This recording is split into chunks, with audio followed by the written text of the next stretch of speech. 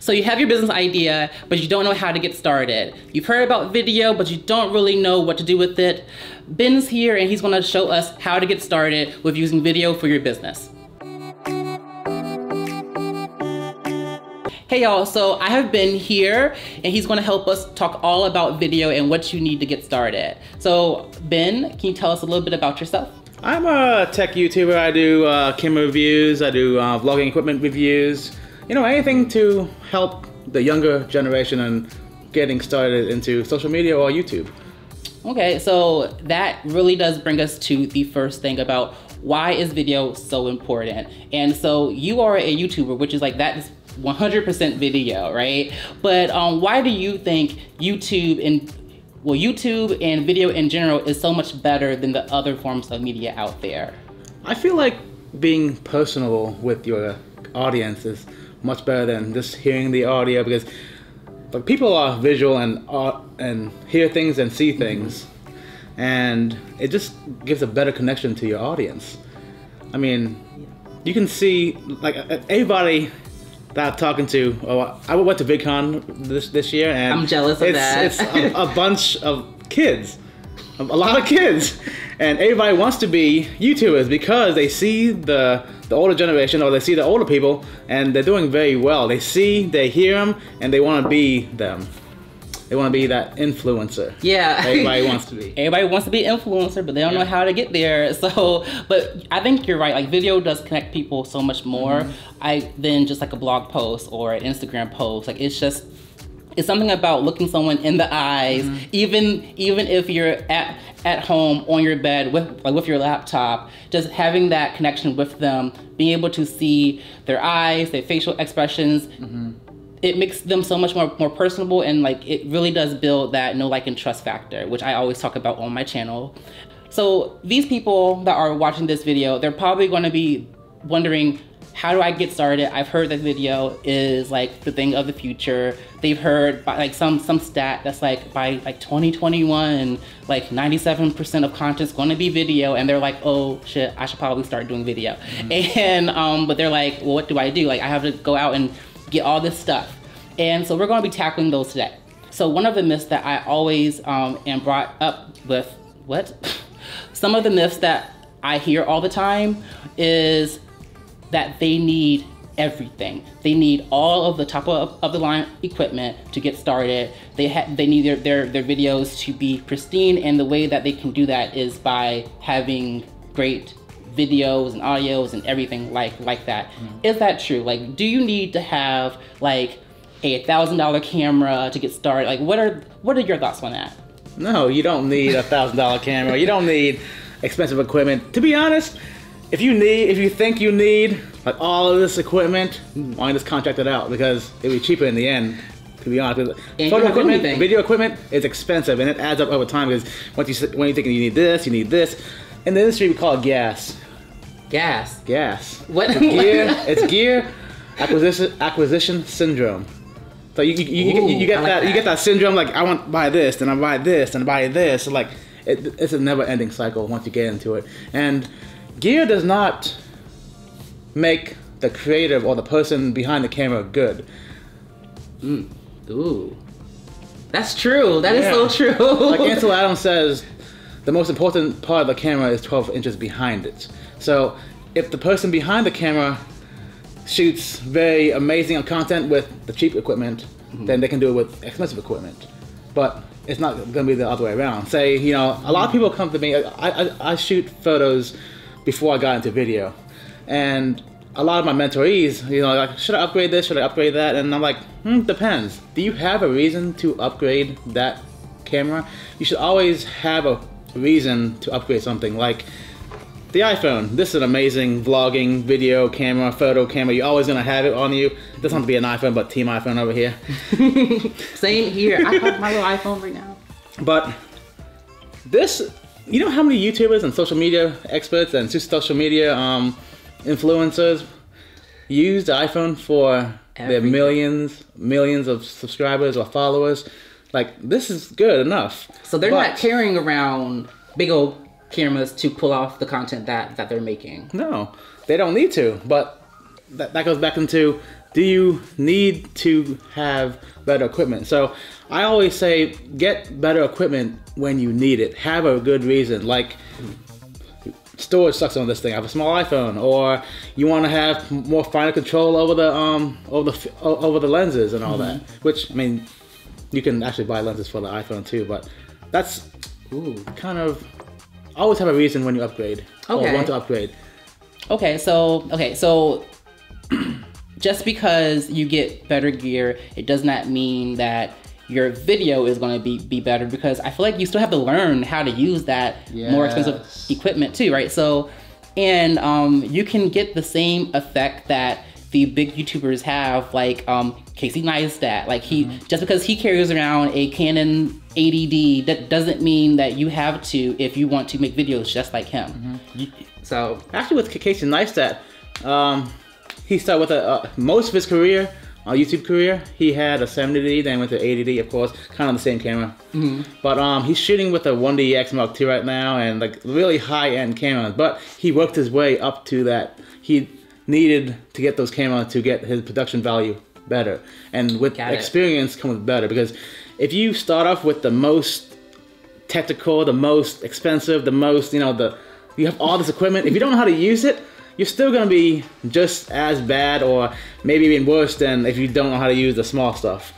That is so true because I because I fell for that. Mm-hmm. Like I so I have so I was making videos with my um, iPhone and with my um, MacBook, right? But then I was in this YouTube like phase and I was like, okay, I want to now step it up. Like I was like, my videos are gonna be like amazing. It's time for me to, to invest in a Canon 70D and I'm gonna get this microphone, I'm gonna get all this stuff. And um, I didn't even know how to use it. I didn't even know. I just assumed that it was gonna be like similar and I knew that like I knew that there was gonna be some type of um, learning curve, but like there it is a very steep learning curve. And I was like, it kind of like I bought it and then I don't even want to use it now until until I find someone to like teach me. So I probably need you to teach me how to use it. But and so right now I just I use it on like automatic or like mm-hmm. on like a, um, a manual just just setting that I just use for everything. And so the video quality could be better, but I don't know how to do it.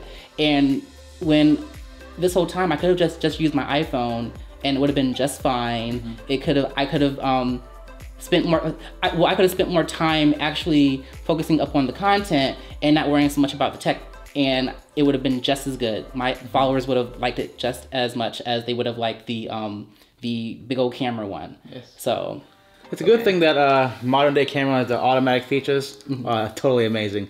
Like it can get you pretty much ninety percent of the way. If you want to get like the more higher production quality feel, maybe you shoot manual. But to be honest, most people put that into automatic and just keep on shooting. but um, you said people like you don't need the bigger camera to to have your viewers watch your content. Mm-hmm. Content is king. It doesn't matter like what you shoot it with. Honestly, people that are watching this video, you got no clue what I'm shooting this with this video with, but you're probably gonna be watching it because the content is engaging. It's answering the questions for the audience, for you. So as long as your content is clear, your content is um, you know helpful, your story is good, people are gonna watch it. You're right. So now there's another one. I have another one. So um, I don't know about you, but like every time I hear like like myths like this, I get all like flustered, and so uh-huh. I start like getting like really irritated. But um, the next one is you need a really nice like studio. Like you need all these um, you need like the like to rent out some place or you need a perfect background in like in order to get started because otherwise people are going to be like like looking at your backdrop and not listening to you. Like you need all this stuff mm-hmm. to to get started. And because you see all these like um youtube videos that have the youtube setups and things like like that but do you really need to go and get a youtube setup like home studio setup in order to get started? Like can you just can you just cut on the camera and just start filming? Like what like what do you think? What are your thoughts? You don't need a studio per se because, like I said, the people are coming for your content. Like mm-hmm. I've shot stuff in my bedroom with a bed behind me. People are still watching that content. like uh, there's some people that shoot just in their living room, just walking around, shake a camera. Like it, it is not anywhere close to cinematic, and people are still watching it because they have a good story, and it you don't need it. So you need three things to shoot video or photos. You need light, the camera, and a lens. That's all. Well, in in uh, in video, you might need a microphone because you need good audio. Yeah. If you can't hear them, the no one wants to, no one wants to listen to that. But light, camera, lens. That's all you need. So I mentioned light. No one wants to wa- watch you in the dark. But I mean, if you still got a good content, if you got a good story, maybe somebody will watch you in the dark. But generally, if, you, if you're lit, your face is lit, people are gonna watch you. Light lighting is a good thing. Like natural light. If you have a window in your in your place, just turn towards the window. You're gonna look look, look real uh, spiffy. It's perfect. Eh, Like eh, like and it's free. You don't have to buy anything. Just record your videos in front of a window, Yeah. and that's all the light that you'll need. That's- Or that's go so outside. simple. No one thinks about that. Yeah, Yep. no one thinks about that because they think about YouTube gear. Like whenever, like there's so many. I think we get tricked by um, the content that's out there with people um, showing off like what they have. But it took time to get to where they are, and they're just showing their audience where they are right now. That isn't where they were on day one, and and a lot of people are here on on day one, and I'm so happy that you're telling them that like there are free options for you to um, to get started with video, like lighting. You don't have to invest in like a light kit. You don't have to buy a ring light if you don't want to. You just sit in front of a window and just press record. Like that's that's perfect. I love that. Um, do you have any, anything else else to add to like to that myth? Uh, not really. I mean, but going back to if you do want to buy stuff, Amazon.com, eBay.com, yo, you can find some really cheap lighting equipment, or like like you can buy some some Chinese stuff, Nope. really cheap. Oh, really cheap. I mean, I've reviewed some of them, uh, some of the um, the cheaper stuff on my channel, and some of them is like I can't tell the difference between that and the three hundred dollar item. But going- Really? yeah, going back to the the whole like, as long the story is good, it, that's all that matters. Okay, so um, another thing that people get really like worked up about is editing the video. Like they think that they have, they think that they should um, not have any any errors, or they think that they have to um, shoot it all in like one shot. They think that, um, or even if they don't shoot it all in one shot, they don't know how to edit a video, and they think that it's like a really huge learn a, a really huge learning curve in order for them to get started, right? And so, um, because most people think about um, when it comes to video editing, they think of like Adobe, and um, people have jobs that are just for Adobe. And um, if you are a coach or a consultant or a personal brand, you don't have time to learn a whole new platform, a whole new um, program while you're still trying to make content and grow your business. So, so that kind of gets kind of hard. And so sometimes that can make people just kind of give up on, like up on video. And so how can they do they have to use Adobe first? Like They don't. That, that, that, for the general industry, Adobe is the industry standard. Then you have Final Cut Pro, which is kind of the uh, Adobe, that the Apple version of the Adobe Premiere, which is the video editor. And you have uh, Vegas Pro, which I don't like Vegas Pro, but I mean, people use it.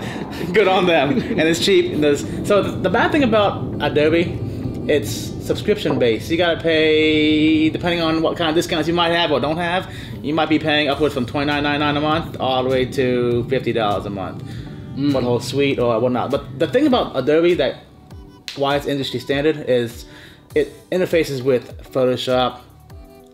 Uh, it interfaces with um, After Effects. It interfaces with all the Adobe suite, which most corporations use or most you know big jobs use. corporations and, Mm-hmm. and, and big businesses. So keep that in mind. Like if you're not a, a corporation, maybe you don't need it. You don't. I mean, going back to VidCon. Yeah. I ran into a booth, and it's a film Filmora booth. I'll leave a we'll leave a link down in the description below, and here's a little little Somewhere. snippet. Yeah. but uh, Filmora is a good one. It's like under fifty dollars. Maybe you can get for twenty dollars depending on the sales it might have. Mm-hmm. Um, another good one is it's free if you're an Apple user. iMovie.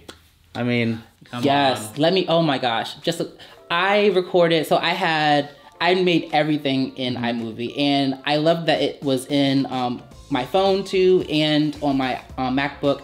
It was so easy to do. It's literally just you just put in the video and then you just start chopping up whatever you don't Yeah. want and then adding in transitions. So it was very easy for me to use, and I am not a video editor at all. And I had people asking me, Jamar, do you edit videos? I'm like, no, this video is crap. Like, what do you mean? Like, it, Yeah, like right. I, they're like hard cuts to like things, and but everyone, but no one noticed that, but me, Mm-hmm. because the content was good. So sorry, continue on to your other things. yeah, yeah. Um, so the iPhone or the Android, like people. I mean, if you shoot video on your iPhone or Android or whatever phone you have, there's editors for that. Now for the iOS, I can recommend um, Luma Fusion. That's it's an amazing software for like twenty dollars, and of course, back to iMovie. yes. So Luma Fusion is a little more technical because you can have like three tracks and three tracks of audio, but Okay. iMovie is just one track of audio, one track of video, and it's pretty simple. Okay. But you have, you know, Well, there's certain things. Well, I feel like that, like that's a good step, like stepping stone, right? Like where um, iMovie, if you do not want to like pay for anything and you just want to like think about this too, like you do get what you pay for. So um, iMovie can be limited. Like there were some things, there were some things that I was searching for in I'm in in iMovie as I was doing my um, videos that you just couldn't do. Um, like feature wise and so you you would have to get some other things and so um, maybe if you want to step up to luma fusion um, that is possible Like, Luma Fusion is basically like it's pretty much Adobe Premiere just Luma Fusion. oh perfect yeah Adobe's actually working on a project called Rush. It's gonna be uh, released. I don't know when, but it's basically uh, and uh, Android, iOS, Mac, PC. It'll be the exact same program across the on the board, and supposedly it should be a good a good time. oh good. But uh, I'm so, I'm very excited to see that, that project, and when it comes out, it'd be it'd be a killer for um for cross platform editing. okay so so that's going to be something good for um, for anyone to um, to get their hands on and use. Okay good. As of right now, iMovie if you're on iPhone, or Luma Fusion if you're on the iPhone. I don't know what Android users have. I feel bad for them. and that's gonna be and that's gonna be really good like for um for rush because that's how it happens like there there there's always like a, um separation between like um tools right if you Mm-hmm. Yeah. have an iphone you use this if you have a, um a um oh my gosh if you have an android use this like um but We need an Android person here. Yes, I, you out there? I'm like, I'm like, where are you, Android people? But um, having just one platform like like Rush will be re- will be really good for um, people to use across the board. So Yes. Mm-hmm. hopefully that comes out really soon, and you guys will be able to um, to use that if you want to. Now, now tying in the editors to the equipment, it's the same thing with with video editors. If you can't afford or if you don't have the budget for like Adobe or the three hundred dollar um Apple one, the What is it? Oh my god! I just said it too. oh my god. Oh, film Um, film Oh, oh right? no, no, that's not film. That's another company. But um, um, Final Cut. Yes, Final Cut. Apple. Uh, Final, obviously, I don't use Final Cut on a daily. I'm an we go. I actually started with Premiere uh, 1.0. I started from the beginning. Oh dang! Now we're here. Now, Um, but have a reason to get into the more professional editor because if forty dollars get you by, you know a lot of people, big YouTubers, a million, two million, in the million subscribers, that they're editing with iMovie. You're like, mm, well, That's true. That's true because again, like how you said, the gear does not make the video better. It's it it's your content. Yeah. And so if you can get by with with the free thing like iMovie, then just use it because there are other big big name YouTubers out there that are already doing it. There's other big um, people out there doing it now. So So you yeah. mentioned uh, the features that you um, you needed. Did you need them to? Look, would your viewers see that that feature that you needed? like no well, well i feel like they would see it i think it was something like maybe um i think it was a way for me to make like jump cuts better or, Oh, or gotcha. something and i was like maybe this would, would would work but literally when i posted my first video my i think my first vlog everyone they they, they just liked it and um the cuts were like kind of brutal like it like it, it wasn't like a big deal and um No one comes to no one cared. no one cared at all. But when I watch YouTube videos, I'm like, oh, that cut was really good. Like I'm like, oh my gosh, how do they do that? How do you, how do you do that little like I don't know. Uh, yeah, the, the- little. the like, how do you do that? But then I knew if I did that, my followers would have been like, "Boy, Why? you don't do this." on the, like, Why? would you do that? it, it just doesn't make sense. And so, I- and so, um, I don't know. I just, I, I- think I was just in my head most Mm-hmm. of the time. Like, it didn't make sense to even do it, or to even worry about it. Yeah. Yeah. So I have um, one final myth for you, and it is about after the video is published, they're like, oh my God, um, people are going to hate it, or um, people are, are going to leave like all these comments down below. Like, um, what do you think think about that? Like, are when if you were to publish your first video, like you just starting off off the ground and you're creating this content, your first video goes out. What typically happens when you post your first video? No one watches it. No one watches it. No one at all watches it. Maybe your friends, family on Facebook. If you post it on Instagram, maybe people on Instagram. My mom watched my video and she was like, "Good job, baby." And, like it was like that was it. That was all. And so keep in mind, like um, I think even like bigger um, bigger people like Gary Vee, like he did um all these videos and he said like he it wasn't until until his 100th video that like people started looking at it. Now you don't have to. It's not going to take you 100 videos. What am I saying? It might help though having a hundred videos because you'd be more searchable and be more relatable. Because when people go to your channel, Mm-hmm. like if you have one video on there, I mean they're gonna click away. They're like, okay, he's he's That's unrelevant. true. If you have a bunch of videos, then they start searching. Maybe they'll be interested in this, this, and this. It actually is good for the YouTube algorithm to have more videos because you have more more more things out in the sea. and you can but you can put more out without having to to worry about the um, the type of gear that you're using or like worrying about the, the technology right because you can just um if you do put put put more out because you're, you're totally right like you know the more you put out the more watch time that that you'll get from your youtube videos right And YouTube prefers watch time these days, not views. they do. And so what I am thinking about is if you just just put out information and you know that no one's going to really no one's going to um, really care about that first video that you put out.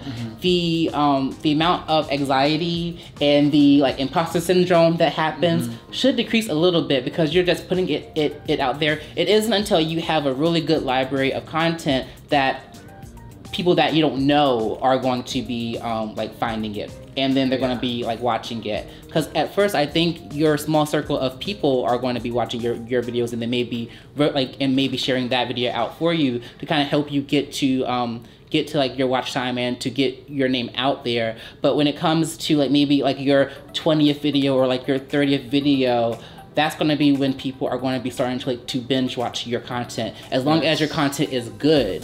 So don't focus up on the camera and the audio well i mean the audio has to be good but like don't focus up on so much of the the, the technology but focus up on what type of value you are that you are delivering right? So that that way in two weeks from now or a month from now if someone finds you they're going to go back and see what you have to offer and they want to be pleased with it. They, they want to say oh this person really knows what they're talking about. Oh this person has um, really good ideas on x y and z i'm going to subscribe or, or i'm going to opt into their email list or i'm going to do these things to stay connected with them yeah The best thing I found in my experience is making a series of videos like that has one overarching um, theme. So like I do tech content, and mine is I do a, a series of um, the Canon M50, then a, a series of the Canon this, and a series of this camera. It's just a series. Uh, some people like to watch a series of videos. I don't know why, but they do.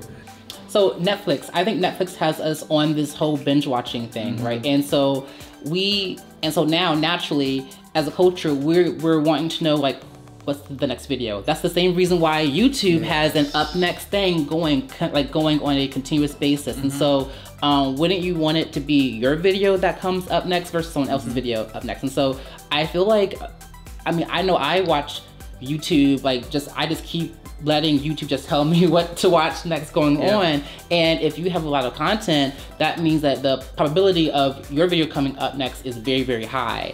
Um, and if it is in a if it is in a series, that next series is going to be the next video. Yes. And so, or even like like playlists, right? I think Yes, playlists are good um, for that. the highest chance to get the, the next video is put it in a playlist.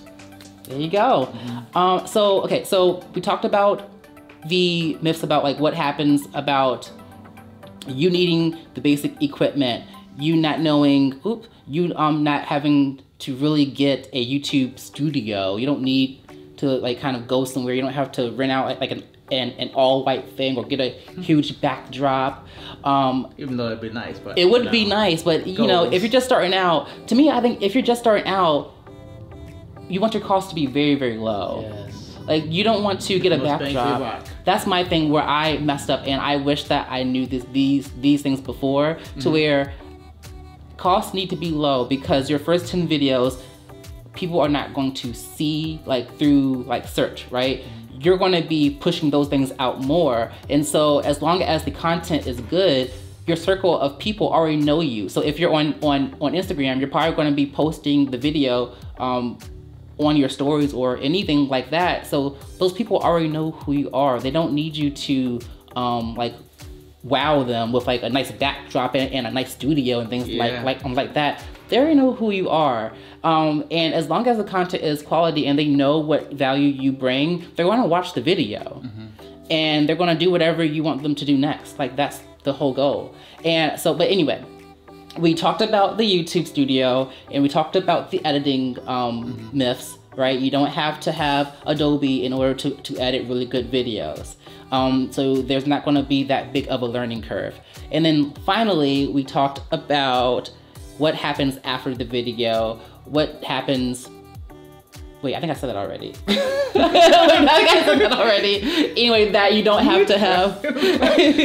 and so I think we covered all the myths. Um, if you guys have any myths, be sure to leave them down below, and I'm going to make sure that Binh comments down below of what you could probably do instead of of being concerned about those those things that don't really matter, right?